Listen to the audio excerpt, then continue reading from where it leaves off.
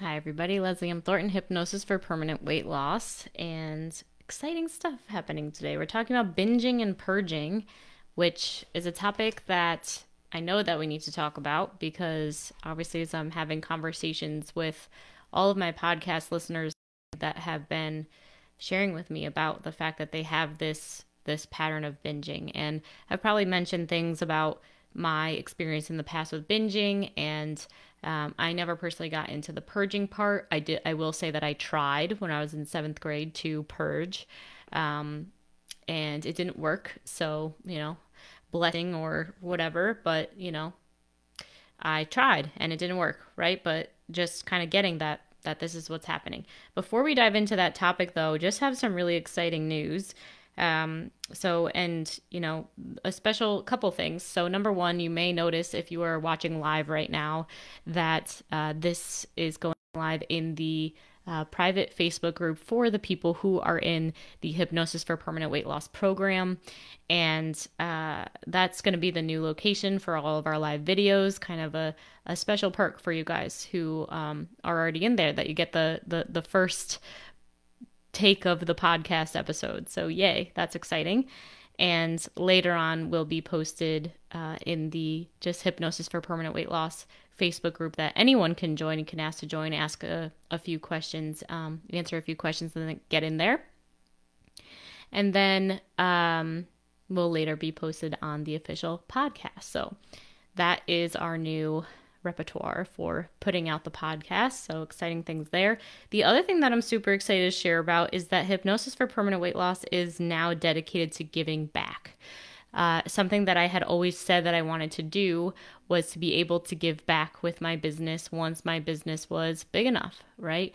And I got caught in that, in my saying that over and over again of, hey, you know, when is your business ever going to be big enough to give back? And what if you could actually give back and make a difference with you know, whatever it is that you can do now and at whatever size your business is whatsoever. So, uh, we donate for our clients showing up and for celebrating their wins and for, um, you know, just having all their different breakthroughs that they have as they're on this journey, and every time that a new person signs up for the program as well. So, uh, in February, just February alone, with all the things that clients have done, it's amazing how far the dollar can go in other countries.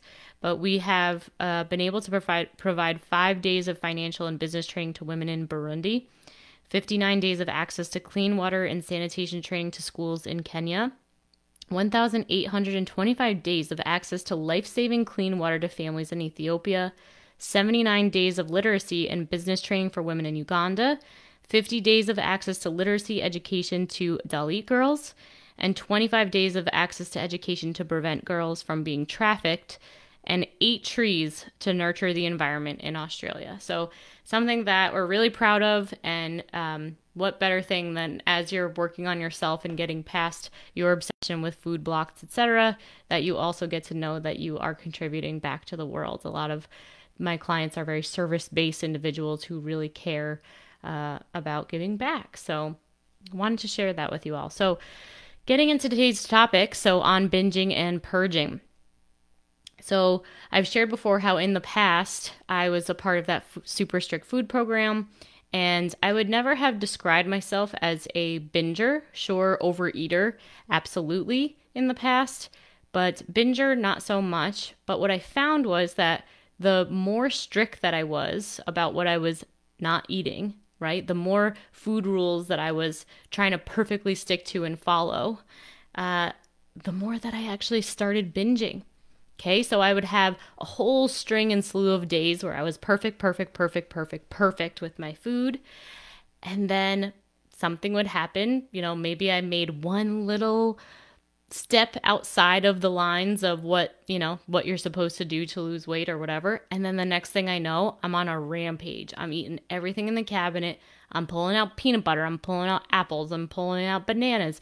I'm pulling out, I don't know what else, like ice cream, anything, you know, nuts was a big one. I can remember cookies, anything, anything, right? And, you know, it could have been healthy food and it could have been unhealthy food, but the behavior itself felt scary. It felt completely out of my control. It felt like something was completely taking over me. And I knew that what I was doing was bad and wrong. I knew that, you know, this was this was a binge, right? It was like, oh, this is what everybody talks about. Also, when I was on my travels, right? So I was kind of coming off this program and and you know, trying to follow it but not following it the way that I wanted to, et cetera, et cetera. And I remember I was in Thailand and I was staying at a little amazing bungalow by the water and, you know, scooters and everything that is the most dream situation you can imagine, working right next to the beach with the most blue, light blue water, just beautiful, beautiful, beautiful. And just completely taking my scooter, if you will, and going to the 7 Eleven. There's 7 Elevens in a lot of countries over in that area of the world. And buying a whole bunch of stuff packages of cookies, just things that I never would have before. Uh, same thing in Australia when I was backpacking around Australia, still trying to follow the super strict program. I'm by myself. Isolation does not help these situations. Having increased stress, you know, being, uh, how old was I at the time when I was backpacking around? I must have been 28 or 29. Being a 28 year old, backpacking by herself in Australia, first time, you know, really doing anything or being that far away from home from sure and uh, yeah, trying to be perfect on the diet. And then I remember, you know, one of the stops on the backpacking trip was, you know, I was sitting there and it was like, oh my God, like I felt this panic and this pain in my body that was like, oh my God, we're going into that 7 Eleven. This is ridiculous, you know, um, just right. And just being out of control, you know, same thing. Like I was in a bunk bed at one point and just, eating like a huge thing of chocolate or something like that. Just weird behaviors and I would like try to rationalize it. And I was just talking to someone the other day who actually just signed up for the program who were talking about how, you know, she's she's done all sorts of world traveling in the past and she's had this most amazing life, but there's always that baggage behind her of but what about my food? I just messed it up. I just messed up my whole day and then it ruins her whole day, right? You're doing the most amazing, magnificent stuff in your life, but it almost isn't like half as amazing and amazing as magnificent because you're concentrated on the food and body and weight stuff the whole time. Literally the whole time. And you know what that's like if you know what that's like, okay? And it's no way to live your life. I wish for sure that I was not struggling with food and body and weight and trying to be super strict on my stuff and terrified of gaining weight and all that kind of stuff during my travels. You know, it was great when it was great and I was perfect, but on the days when it wasn't great and I fell off the wagon, if you will, and got stressed out, it was painful, it was scary, it was isolating. And I didn't know what to do. Um, so and I, you know, kept a, a journal when I was traveling around New Zealand. And recently I looked back into that journal and like everything that I was talking about in that journal was like, oh my gosh, this is so stressful. I don't know what to do about my food and body and weight. Right. It was just, and it's like, what? Really? You know, like seriously? Um, and you can judge yourself for that, but that's the reality that we're talking about. It is completely absolutely impossible to not be overwhelmed by the food and obsessive thoughts 24 7 before you have healed yourself out of this diet mentality and out of this space. All right, so number one, it's not your fault. It's not your fault. And I'm sorry that you're dealing with that. Obviously, I understand exactly where you're coming from. It's the worst. My family couldn't understand it, right? Like, nobody could understand it.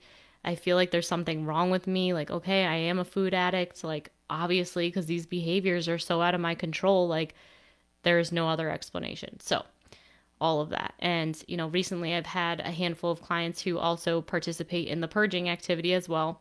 And, you know, it's again another thing that obviously people are hiding and, and ashamed of and all of that kind of stuff.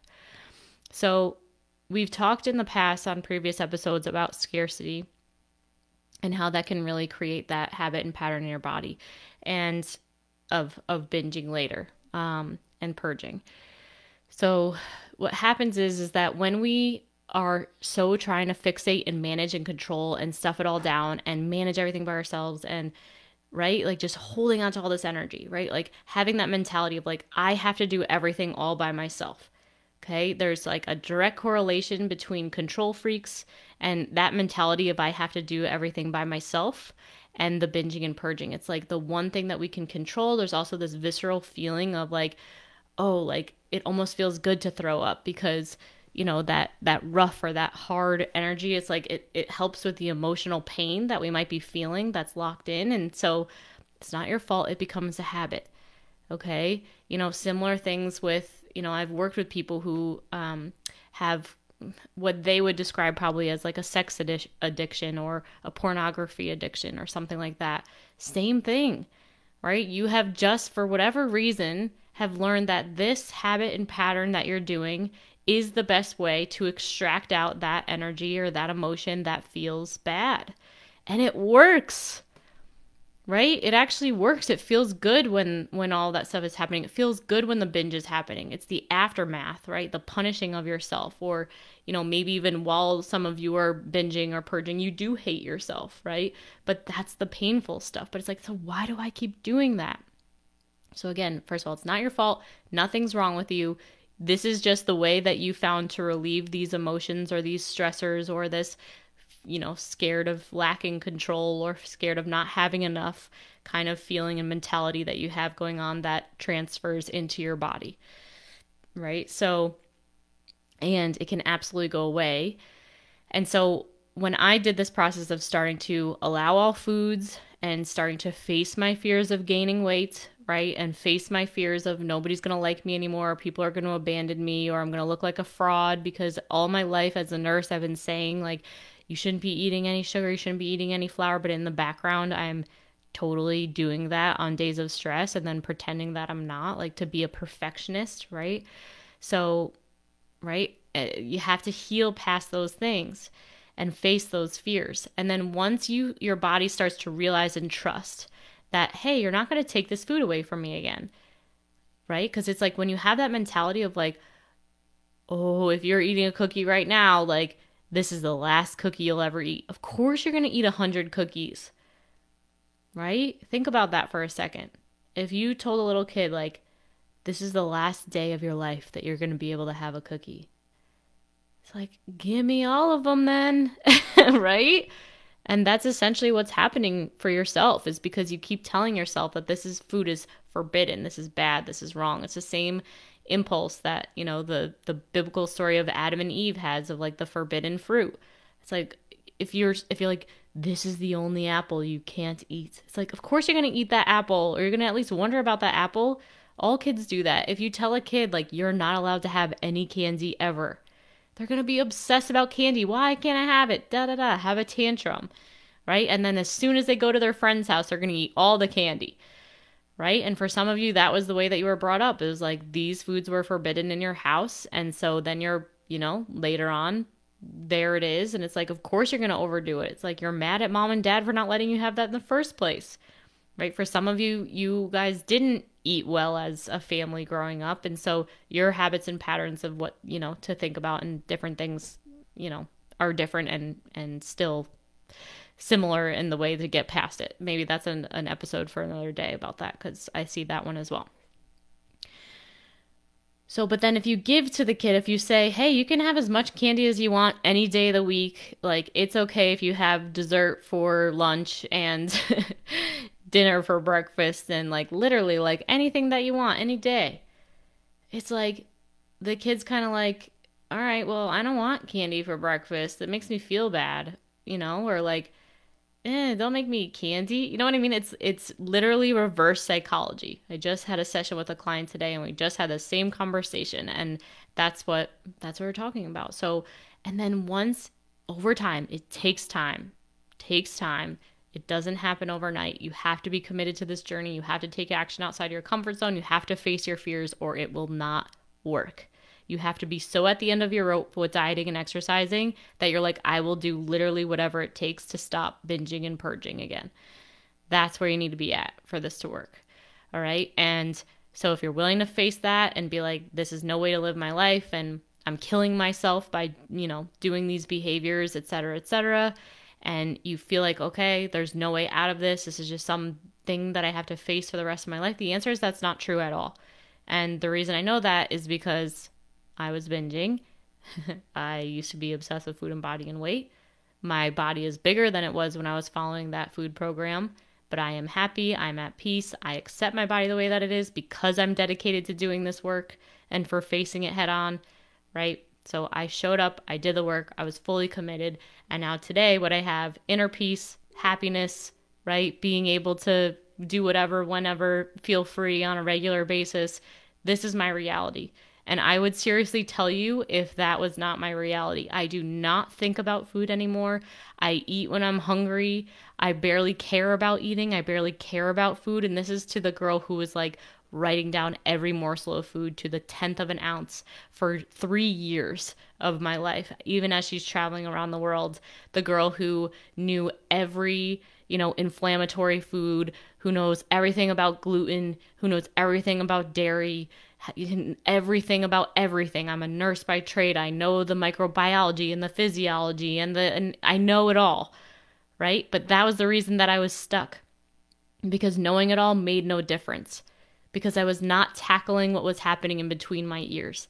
And that's where the hypnosis comes in, that's where the mindset changes comes back in, right? And if you go towards that and you face that stuff, eventually again, you're going to be like, "Okay, I feel way happier and way freer. I can eat that at any time. And guess what? All of a sudden you wake up one day and you're like, I haven't binged in a really long time. I'm not purging anymore. And it's the most fantastic thing. And I want that for you if you want that. So you're going to get the prompt, but you can always text for the free training. So you text the word hypnosis to 72727 on your phone, super easy. And then you'll have access to being able to book a call. Um, and we're making it a new feature now that if you are booking a call, then we are also going to be donating. So, something that I'm just offering for the podcast listeners, um, a way for you to just give back just by saying yes to yourself and having a conversation and finding out if it's time, if you're ready, if we can find the source of why you're stuck in this food trap for you. And if we can find that answer, then we can help dig you out of there. So, I love you guys so much, and we'll talk to you again next week.